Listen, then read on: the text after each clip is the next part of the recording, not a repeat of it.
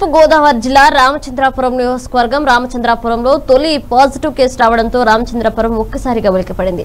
రామచంద్రాపురం నియోజకవర్గం రామచంద్రాపురంకు చెందిన ఇరవై ఒక్క సంవత్సరాల యువకుడు కడప జిల్లా కడపలో త్రిబుల్ ఐటీ ఫైనల్ చదువుతూ తన తండ్రి లారీ డ్రైవర్తో కలిసి కలకత్తా వెళ్ళి వచ్చాడు యువకుడు ఆరోగ్యరీత్యా ఏరియా ఆసుపత్రికి వెళ్ళగా కోవిడ్ టెస్ట్ చేసి రామచంద్రపురం బైపాస్ విజయ ఫంక్షన్ హాల్లో వలస కార్మికుల కోసం క్వారంటైన్కి పంపించారు.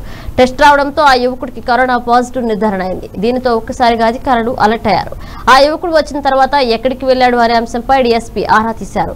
ఒక్క మంగళ షాప్కి వెళ్ళాడని సమాచారం సేకరించారు. దానితో ఆ మంగళ షాప్లో కటింగ్ కటింగ్ చేయించుకున్న ఎవరైనా ఉంటే స్వచ్ఛందంగా బయటికి వచ్చి ఏరియా ఆసుపత్రిలో పేర్లు నమోదు చేయించుకుని కరోనా టెస్ట్ చేయించుకోవాల్సిందిగా వారు కోరారు. ఏరియా బ్రాడీపేట శ్రీరాంపేట సప్పిడి సావరం రెస్పేట రెలివీధి రెడ్ జోన్గా ప్రకటించారు. ఫీవర్ తగ్గకపోయి మళ్ళీ దగ్గు అది రావడం వల్ల ఆయన్ని క్వారంటైన్ సెంటర్కి విజయ ఫంక్షన్ హాల్ క్వారంటైన్ సెంటర్కి తరలించడం జరిగింది. అక్కడ టెస్టింగ్ తండ్రికి తన్- తండ్రికి కొడుక్కి ఇద్దరికి కూడా అక్కడ టెస్టుల టెస్టుల నిమిత్తం పంపించడం జరిగింది. ఆ రిపోర్టు నిన్న సాయంత్రం రావడం జరిగింది. అందులో కాజా ఇబ్రహం అతనికి ఈ పాజిటివ్ వచ్చినట్టుగా ఉంది. ఆయన ట్రిపుల్ ఐటీ స్టూడెంట్.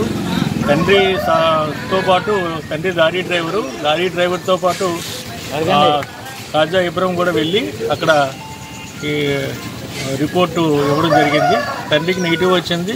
కాజా మాత్రం పాజిటివ్ వచ్చింది. దీనిలో భాగంగానే వాళ్ళు పన్నెండో వార్డులో వాళ్ళు నివసిస్తున్నారు రామచంద్రపూర్ మున్సిపాలిటీలో. దీనిలోనే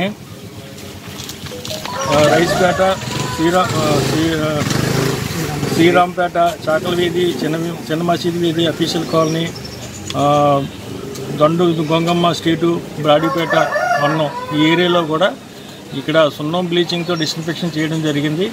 హైపోక్రోడ్ సొల్యూషన్తో కూడా ప్రతి ఇంటి స్ప్రే చేయడం జరిగింది.